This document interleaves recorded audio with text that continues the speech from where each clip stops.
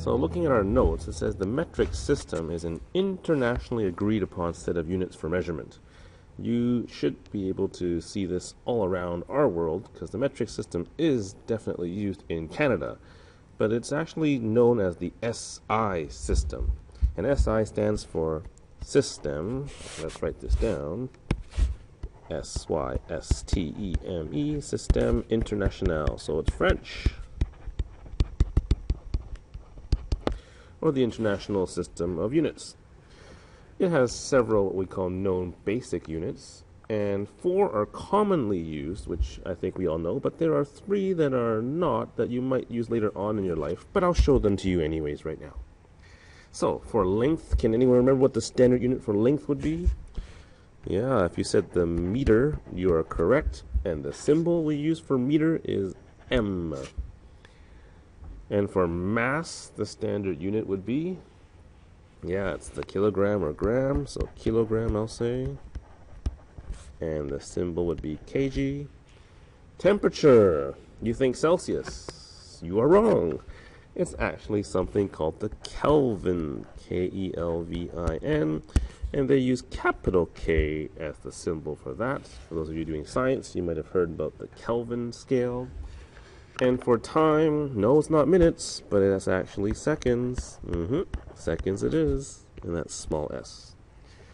Electric current is something we use the ampere for, and that's capital A. The amount of a substance, for those of you taking chemistry, you're talking about the moles, and that's MOL. And luminous intensity, light, we use the word candela, and the notation or symbol is CD. Notice that all the symbols are small case except for the Kelvin and the ampere. Anyone know why? That'd be an interesting question to find out. Why would we have to capitalize the Kelvin and the ampere? Hmm. You decide later on. So, anyways, why do people use the metric system? Well, the answer is it's easy and it's simple. Because the metric system uses powers of 10, and we've looked at powers before in Math 9 already, so hopefully this is a little bit of a review. You can either multiply or divide by 10 in order to produce larger or smaller amounts. So I don't know if you've seen this chart before, but here are all the different prefixes. So maybe you would have seen something like this. One meter is equal to, and can someone tell me how many centimeters? Yeah, if you said 100, you'd be right. And you're like, how do I get that? Well, the basic unit in this case is my meter, so that's where I am right now, m. And I want to get to the centimeter, centa, and look at my prefixes. Where is centa? Oh, it's down here, down two levels and this becomes now centimeter. Okay, so my basic unit is meters. The letter in front is my prefix, the letter C. And it tells you it's one one hundredth, or in this case, one meter is a hundred centimeters. Okay? So that's why you can use this factor table to help you go from different symbols or different prefixes to different prefixes. Might be a little bit confusing right now, but let me show you some examples and I'll hopefully help you understand this. The basic unit, by the way, the power of 10 is always 10 to the power of 0, or in our previous studies, that's equal to 1. Okay? So going up, you see we have powers of 10, 10 to the power 1, 10 to the power 2, 10 to the power 3. Now notice here it goes from 3 to 6, so there's a little bit of a jump. There's a jump in 3 powers of 10. Same thing down here, there's a jump in 3 powers of 10. Alright? So let's try one of these examples and let's see if we can figure this out convert 3 kilograms into grams. Notice I underline the K because that's the prefix. Kilo. So in this case, kilo is right here. Yeah. And I'm comparing it to grams, which is my basic unit. So now what I'm saying is I'm going from grams all the way up to kilograms. So how does that connect with each other? Notice the powers of 10. In this case, a kilo is 10 to the power of 3. Or what's 10 to the power of 3 as a number? That's 1,000. So what we just said here, comparing this to that, is that 1 kilogram is equal to a thousand grams. So knowing this, can we now convert 3 kilograms into how many grams? Yes. If you can just quickly say, hey, if one kilogram is a thousand, then if I multiply the kilograms by three, I also need to multiply the grams by three, and there we have it, 3,000 grams. Okay? Now that's one way of doing it. Another way, other way, if you'd like to use what they call these conversion factors, and sometimes in science they do this, you could also do it the following. Three kilograms, write that down first. And then this statement that we wrote down earlier, one kilogram equals a thousand grams. These two things are equivalent. So if I were to divide them by itself for each other, you actually get the number one because they're equivalent. So in science, sometimes they use this thing called unit analysis. And this becomes one kilogram over a thousand grams because that's equal to one. Or you can write this as 1,000 grams over one kilogram. In this case, I'm going to use the second unit factor because if I now multiply the 3 kilograms by 1,000 grams over 1 kilogram, notice now this is like a fraction, and my units here, the kilograms, kgs, divide out, and you're left with the unit of grams, which is what I want. In this case, 3 times 1,000 divided by 1, that's just 3,000 grams. Okay? So I just showed you two different ways of doing this. It doesn't matter which way you choose to do it, but I thought I'd show you two. Okay? Turn the page, please. Ah, let's look at this exercise now. Let's convert 2.4 gigabytes. You might have seen this with your technology. And let's change this into kilobytes. So gigabytes to kilobytes. I'm going to go back to my previous page. Giga, kilo. Where are all those things? Ah, giga is here. Kilo is here. And notice it went down two levels, but wait, look at the powers of 10. It's 10 to the power of 9 compared to 10 to the power of 3. So if I'm asking for a comparison, I'm asking for a ratio.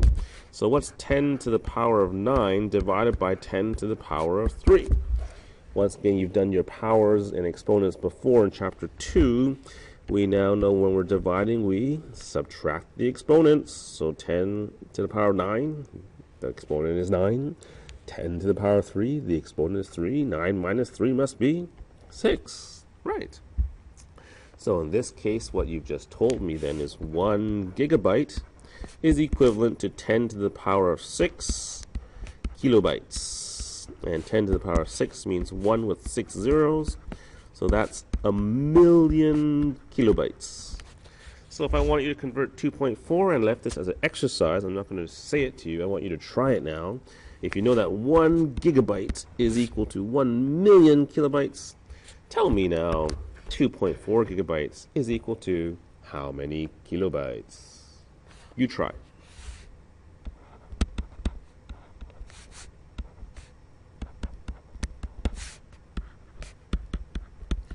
And if you said you just need to multiply by 2.4, you are definitely correct. And you would have got 2.4 billion or 2, sorry, not billion, 2 million, 2,400,000 kilobytes. And that's your answer. Okay, let's try this next example.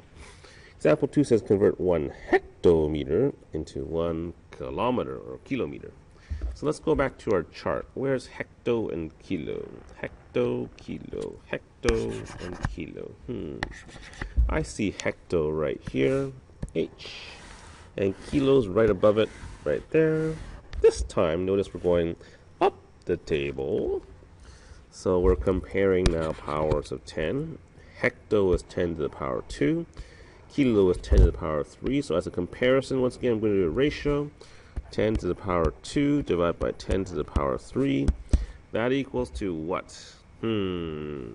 Well, we can subtract exponents if you wish, or we can write this out as 10 times 10 over 10 times 10 times 10. Either or, I hope you'll see that this equals to 1 tenth. So ultimately what I'm saying now is 1 hectometer is equal to 1 tenth of a kilometer.